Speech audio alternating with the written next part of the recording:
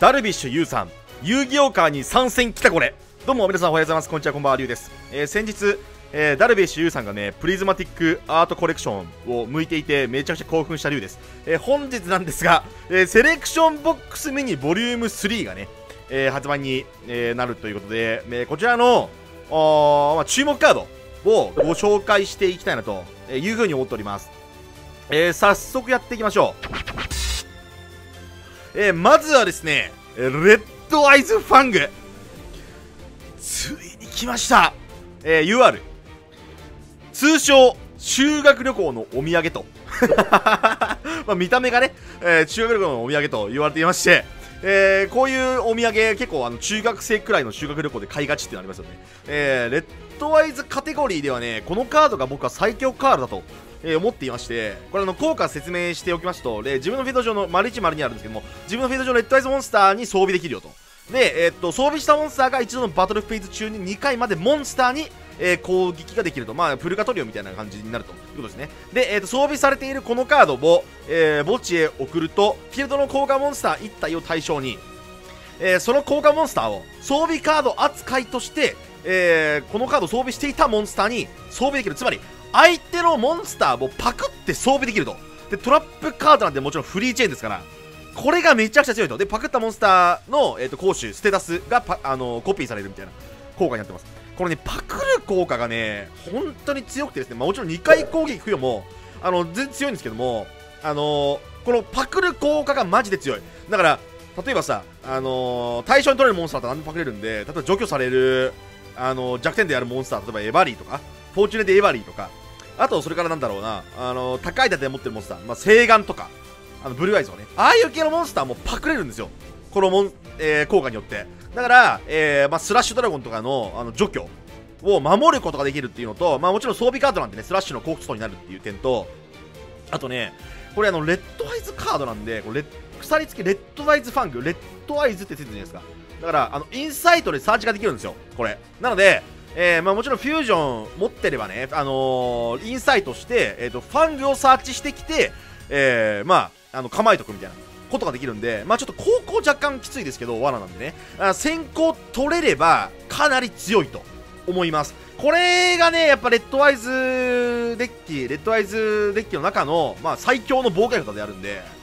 これが来てくれたのは嬉しいなというふうに思ってます。ブレイクスルースキル。このね、ブレイクスルースキル、まあ UR なんですけど、これはめちゃくちゃ強いです。めちゃくちゃ強い。あの、昔は OCG でも環境カードであったこともあるほどのね、強力なカードなんですが、えっ、ー、とね、あ効果説明しておくと、相手フィード上の、えー、効果モンスター1体を対象にし、その相手モンスターの効果をターン終了上で無効にすると。まあ、要は、まあ、デモンズチェーンとか聖杯みたいなね、感覚ですね。で、自分のターンの墓地のこのカードを除外すると、もう1回使えると。まあ、ただし、えー、このカードが墓地をターンに発動できないということで、自分のターン限定ですけど、相手ターン、相手のモンスターの効果を無効にできるよっていうのが、まあ、2回目としても使えるので、ので1枚で2度美味しいというカードですね。まあ、非常にま読んでればまあ強いだろうなって思うと思うんですけども、これね、あのちょっと難しいのは、あの聖杯とか月の章の代用になるかって言われると、ちょっと難しくて、あの魔法カードだとね、例えばその聖杯とかだと、これあの魔法カードなんで、あの高校で即座に打てるじゃないですか、引いてもね。ブレイクスルスキルはこれトラップなんで、トラップカードは、まあ、伏せないとつけないから、まあ、即座に高校で打つことができないっていう点はちょっと弱い。月の書とか聖杯の方が、まあ、ちょっと汎用性は高いかなっていう感じなんですけど、ブレイクスルースキルはね、あのー、2回美味しいっていう点と、あと、えー、もう1個、あの、いい点があって、リリースして発動する効果も無効にできるっていうのは、このデモンズチェーンと違うところなんですよ。これデモンズチェーンって永続トラップなんで、その、リリースして発動する効果を無効にできないんです。例えば、影物とか、あの、フォトンリザードとかって、これリリースして発動されちゃうと、デモンズチェーンが意味ないっていうことになっちゃうんですけども、ブレイクスルースキルであれば、影物とか、えー、フォトンリザードとかを、あの、縛り付けて、無効にして、で、そのターンのエンドフェーズまで効果無効にできるんで、フィールドで、あの、リリースして発動してもこれ、無効にできるんですよ。これがまあ、コンマイ語と言われているね 遊戯王が分かりづらいと言われている、まあ、根源ではあるんですけども、まあ、無効にできる、できないがいくつかあって、デモンチェーンよりはちょっと強い、みたいな感覚です。効果無効の範囲は。で、えー、っとね、デモチェと、まあ、ブレイクスルーするスキルどっちが強いかって言われると、まあ、ちょっと一長一短なんだけど、攻撃ができないっていうのがあるから、デモンチェーンは。多分ねブレイクスルースキルになるんじゃないかなと個人的には思いますね。デモンチェーンが入っていた枠はブレイクスルースキルになっていくような気はする、まあ、外役デッキは置いといて。外役デッキは攻撃できない方があの嬉しいからデモンチェーンになのかもしれないけど、まあ、どっちかっていうとブレイクスルースキルの方がなんか邪魔にならないしこれほらデモンチェーンの邪魔じゃん。これ3枠しかないからさ魔法トラップゾーンが。だから邪魔なんだけど普通だったら。あのブレイクスルーはちゃんと墓地行ってくれるんで、まあ、そこの辺は優秀かなと思ったり。っていう感じですね。なんで、まあ、個人的な感想としてはブレイクスルースキルが人権カードになる可能性はあるということですね。レッドアイスフレアメタルドラゴン。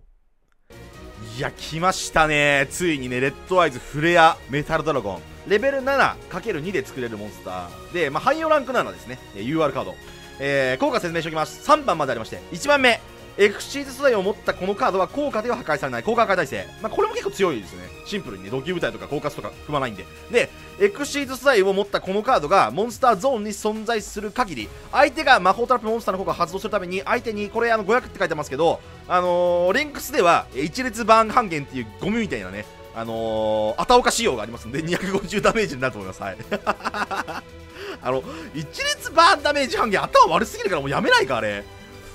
とね、それ、マジで、あの、本当に不満だから、マジでやめてほしい。ちゃんと考えてから実装しよう、その辺は。で、丸3番、一旦に一度このカードのエクシーを取り除くと、自分の墓地のレッドアイズ通常モンスター1体を対象にし、そのモンスターを特殊化する。これが誘発即時効果であると。まあ、要は相手なんでも発動できるっていうことですね。えっ、とね、あのー、結構うざいっす、こいつ。結構うざくて、あの、この、この2番目のこの効果がめっちゃうざくて、あの、毎、毎回なんか相手がカードを発動するために250ダメージ与えていくんで、結構ね、立ってたら割と鬱陶しいモンスターなのかなと。で、効果化耐性もありますしね。で、えー、っと、除去にチェーンして一応、レッドアイズ蘇生っていうね、このね、効果、効果相手なんでも発動できるよっていう、この効果。あの、除去効果にチェーンして撃てるよっていう効果はあるんだけど、ちょっとね、あのね、問題点は、レッドアイズがね、墓地にいないっていうことが結構あって、こいつ出すときにね、ランク7なんで、レッドアイズとレッドアイズスラッシュとか、レッドアイズレッドアイズとか出すんですけど、あのね、この効果発動するためには、やっぱ通常モンスター、レッドアイズがいないといけないんで、墓地にね。だから、いないっていうことがあるんですよ。あの、エクシーさえを自分で取り除くことがあんまないんで、このモンスターは。だから、あの、3番の効果使えないパターンも意外とあるよっていうことを覚えておいていただければと思います。ただし、あの、デッキ的にはブラマンジデッキとかにも入ることができるし、あとはあの、レッドアイズデッキももちろん入るし、あとハーピーデッキとか、ま、ランク7を出せるデッキだったら、まあ、全部入れたいので、このモンスター1枚ぐらいはね。なんで、えっ、ー、とね、1枚は取っておきたい。えー、モンスターになってくるかなと思います。サイクロン。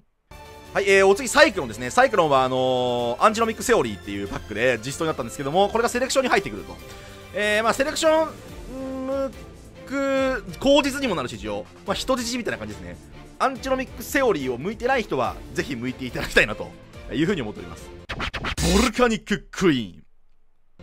えボルカニッククイーン、え SR カードでございましてちっちゃいラバーゴーレム。みたいな感じですね。えっ、ー、と、効果説明していきますけれども、えっ、ー、と、この方は通常召喚ができませんと。えっ、ー、と、相手のフィールド上のモンスター1体をリリースしてっていうだから相手フィールド上に特殊召喚できると。まあ、要はラバゴですね。一体版の。一旦に一度このカード以外の自分のフィールド上のカードを1枚墓地を置くことによって相手ラグに1000ポイントのダメージを与えるとだから、えーと、能動的に、えーと、バンダメージを与えることができるんで一応相手に与えつけることになるからさこのモンスター基本的にはねなんで相手が使うことができるかもしれないこの効果はねで自分のエンドフェーズにこのカード以外の自分のフィールド上のモンスター一体リリースするか自分は1000ポイントのダメージを受けるっていうことで、えー、まあ送りつけて相手にあの、まあ、怪獣みたいな感じでラワゴンみたいな感じでポンと送りつけてで、えー、と相手はエンドフェーズに自分のモンスターをリリースするか、えー、ダメージを受けるかっていうことをえー、選択する感じになりますでこのカードを特殊召喚するターン自分は通常召喚ができないという感じですねえー、なんで、あのー、まあ、NS 権を放棄する、召喚権放棄するんで、まあ、特殊召喚するようなデッキだったらね、まあ、ネオスフュージョンとか、レッドアイズフュージョンとか、ああいう系のカードが入ってるような感じとか、あとサンダードラゴンとかね、ああいうのがあれば、まあ、別に入れてもいいかなっていうふうに思いますね。で、えーと、こいつもバンダメージ半減の被害者でして、この1000ポイントダメージとか、これ全部500になるんですよ。1列バーンダメージ半減されるから、デュエルリンクスはね。これマジで頭おかしいかさ。これもう思考停止でしょ。これもうなんか仕事放棄みたいな感じじゃない？ちゃんと考えてからさこれダメージはちゃんと考えようぜみたいな。とこあるんですけどね、これも被害者ではあるがこいつは結構強い。除去能力としてはねうーんとクソデッキ製造マシンとしてやっぱ所有者の刻印っていう、えー、このカードを使ってボルカニッククイーンを相手のフィールド上に送りつけて所有者の刻印で戻すっていうね、えー、ことをしたいなと思ってます。でしかもバンダメージが、あのー、ありますんで一応ね相手のライフを削り切るってことができるかもしれない。装備魔法とかをつけてね。ソウルテイカー。ソウルテイカー SR、えー、相手のフィールド上の通常魔法ですね。相手フィールド上の表側表示モンスター1体対象にして破壊すると。でその後相手はライフポイントを1000回復するよっていう効果ですね。えっ、ー、とねソウルテイカーに関してはね多分ね使われないと思う。結論。多分ね今更実装だったけど。あの通常魔法なんで基本的には軸だきとか地割れとかこの辺のカードでいいかなと思うんですよね。破壊するだけだったらね。まあ選択して破壊はできないけどこの辺は。まああの逆に対象取らないっていうね。まあそういう利点もありますし。でえっ、ー、とソウルテイカー自体ワンキルするんだったら供物とかでいいから。なんでねこれは多分使われねえかな。通常魔法だし。ライトニングボルテックスの方が全然強いし。うんなんかこのカードはまあおまけ程度に考えておいていただければなと思いますね。鬼神の連撃。皆さんこちらの鬼神の連撃というカードをご存知でしょうか？え通常魔法でございまして自分のフィールド上に表側表示で存在するエクシーズモンスター1体を選択すると。でそのエクシーズ体を全部取り除くとこのターン選択したモンスターが1のバトルフィールド中に2回攻撃できるよと。えー、いうことなんですけども、これ、イラスト的にこれ2回攻撃じゃなくて、ほんと北斗百列拳みたいな感じで、あこれちなみにイラストジムナイトパールさんなんですけども、これ。ジムナイト神剣を使ってるんですけど、これ。あの、2回攻撃以上できるようになるよという効果ですね。まあ、相性がいいカードとしては、まあ、2回攻撃できるっていう、付与できる。プラス、まあ、大したことないモンスター。例えば、うんと、ガイアドラグーンとか。あの、貫通能力持ってるだけなんですよ、俺。このモンスターね。だから、別に素材取り除いてもいいので、あの、鬼神の連撃でガイアドラグーンに貫通2回攻撃を与えるとか、あと、ま僕が一番やりたいなと思ってるのは、そのネオギャラクシーですね。これ。ネオギャラクシーアイズ4502連打。かっこいいっしょ !4502 連打っすよ。強くねっていう。これをやりたいなというふうに思ってます。まあ、あと、そんなに相性いいカード思いつかなかったんだけど、割とね、あのー、面白いデッキになると思う。このカードを入れておくことによってね。はい、というわけでいかがでしたでしょうか。やっぱ個人的に一番注目カードはやっぱこの鎖付きレッドアイズファングスね。これがガチで強いから、まあ、レッドアイズデッキ多少戦えるようになってくるんじゃねえかなと思うんですけど、まあ、ちょっとまたデッキ組んでね、あの、回してみようかなと思ってます。ぜひね、そちらの動画もお待ちください。それではまた次の動画でお会いしましょうじゃあね